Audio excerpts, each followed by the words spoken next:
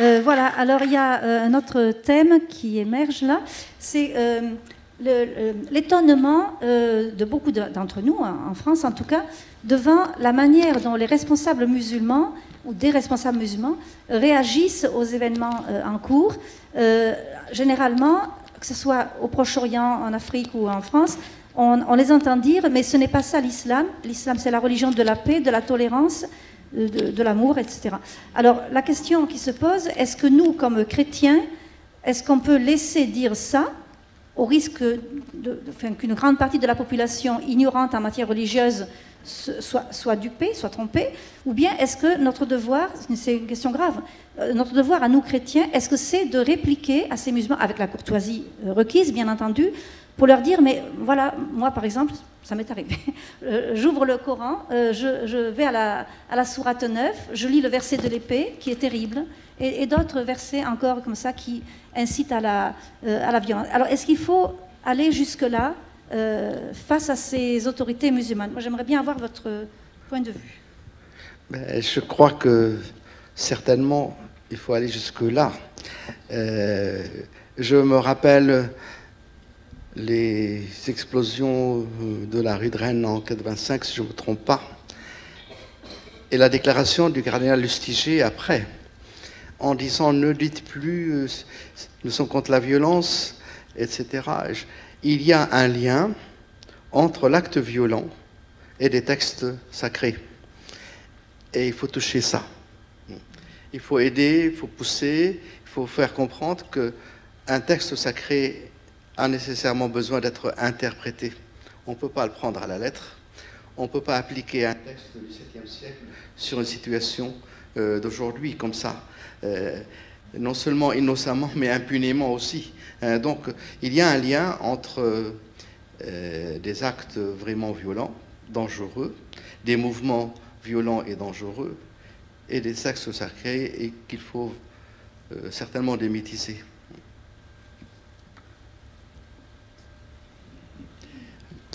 Je reviens à la nécessité de dire le vrai. Si tel acte de violence se trouve dans le Coran ou dans la tradition mohammedienne, je dois dire, en ceci, il, applique tel texte. À vous, musulmans, d'établir comment le lire. le verset dit de l'épée, la tradition musulmane dit que ce verset a abrogé tous les autres versets précédents qui parlent de paix. C'est la tradition parce qu'il y a la théorie de l'abrogeant et de l'abrogé, et donc c'est le, dernier verset qui peut abroger le précédent. Or, ce verset est un des derniers qui ait été, comme ils disent, révélé. Je dis, et ça, vous le trouverez à longueur de page, que le verset de l'épée a abrogé tous les autres. Il faut leur dire, je leur dis, euh, bon, donc c'est une religion de violence. À moins que vous repensiez un peu euh, toute votre écriture. Et il n'y a pas d'autre voie, comme chacun essaye de le faire. Je crois que ça, c'est euh, il n'y a pas de concession à faire sur le faux. Ça, ça existe. Ce que fait Daesh actuellement, ils trouvent à chacun de leurs actes les plus sauvages une justification scripturaire ou traditionnelle dans la tradition de Mahomet. Alors, comment résoudre le problème? C'est à vous, musulmans, il y a un problème. C'est trop facile de dire ça, ce n'est pas l'islam. Je peux dire ça, ce n'est pas ma vision de l'islam. Tout à fait vrai. Mais ça, c'est aussi l'islam tant qu'on n'aura pas clarifié que l'islam n'aura pas dit ça seulement c'est l'islam et ça, ça ne l'est pas. Oui, Très bien. Non, je, je vais ajouter un petite nuance sur l'abrogeant et l'abrogé. L'abrogé, il est abrogé, mais il reste dans le texte. Et ça, ça rend encore l'interprétation plus compliquée. Et donc, on peut sortir un texte abrogé et l'appliquer. c'est le jeu de Yasser Arafat avec la constitution palestinienne et sur l'État d'Israël. Enfin, on a abrogé, mais c'est resté dans le texte. Enfin.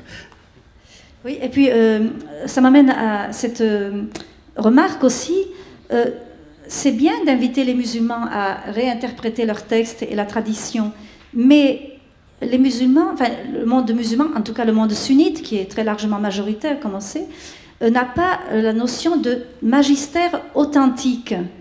Alors, euh, on peut très bien trouver des, musulmans de bonne volonté, voilà, qui ont un sens moral aigu, et euh, qui, mettent pratiquement de côté ces versets violents, mais d'autres, comme on le sait avec Daesh, justifient leurs actes par, des textes de cette nature. Comment sortir de, ce, de cet obstacle que j'appelle structurel? Il y aura toujours quelqu'un qui dira, ben, moi, j'interprète le Coran comme ça, puisque c'est écrit comme ça.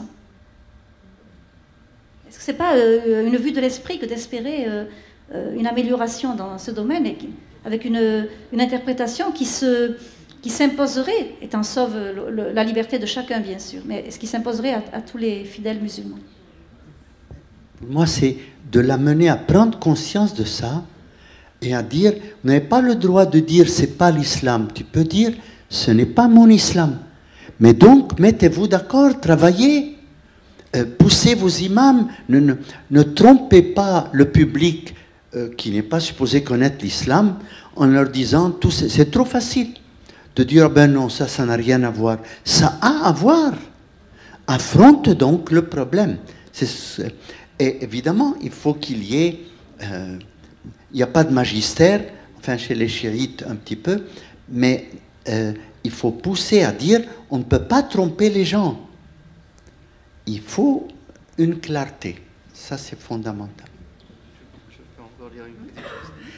Et il y a encore quelque chose de plus grave, c'est que pour le sunnite, tout a été dit, il faut rien ajouter. Donc il n'y a plus d'effort d'interprétation. Et je pense que c'est à l'origine de beaucoup d'incompréhension, beaucoup de problèmes, euh, ce genre de, je veux dire, de blocage de, de, la pensée et, de, l'interprétation. Vous me permettez d'ajouter un petit mot. Euh, c'est faire travailler la raison. Non seulement avec nos amis musulmans quand on discute, de l'inviter, de l'aider par la maïotique, selon la, méthode de Socrate, etc. C'est-à-dire de le, lui faire, de le faire parvenir à découvrir euh, un sens ou le sens de telle ou telle vérité. Ceci nous revient à nous chrétiens. Combien de fois avons-nous permis à nous-mêmes de raisonner notre foi? Beaucoup de choses que nous avons reçues parce que notre curé ou nos ancêtres ou nos pères nous ont donné cela sans discuter. Alors, nous prenons certaines choses qui sont secondaires pour essentielles et nous tombons toujours dans le faux. Donc, c'est une interpellation pour nous aussi à être clair sur certaines euh, conduites de notre foi, certaines, euh, certains aspects de nos croyances. Je ne suis pas contre telle ou telle piété ou telle ou telle confrérie ou tel ou tel acte de religion, mais il faut que nous ayons une foi consciente, une foi euh, logique, une foi qui puisse m'aider à transformer ou à éclairer ma vie et non pas seulement à prendre des pratiques.